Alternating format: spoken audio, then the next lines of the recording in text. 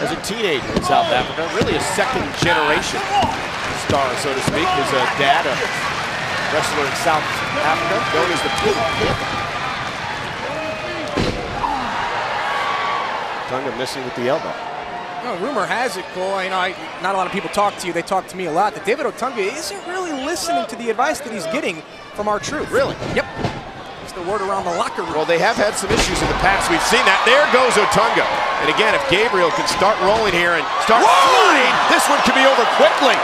Gabriel throwing caution to the wind, and it paid off.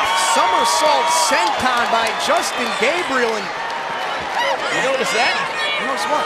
R-Truth uh, smiling about it. I told you that R-Truth and David Otunga haven't really been getting along. Check this out right here, just beautiful. And then meanwhile, inside the ring, crossbody lateral press, and he got him. Nope, No, he no, didn't. no, no. Two and a half, close. Thought Gabriel had Otunga off the crossbody from the top rope. Is there really such thing as two and a half, Cole? Yeah. Really? You ever have a referee count two and a half? You Well, know, his hand was going down for a three count before he stopped. Okay, Oh, here we go. Went for the 450 splash. Otunga rolled out of the way wisely. slowly as well.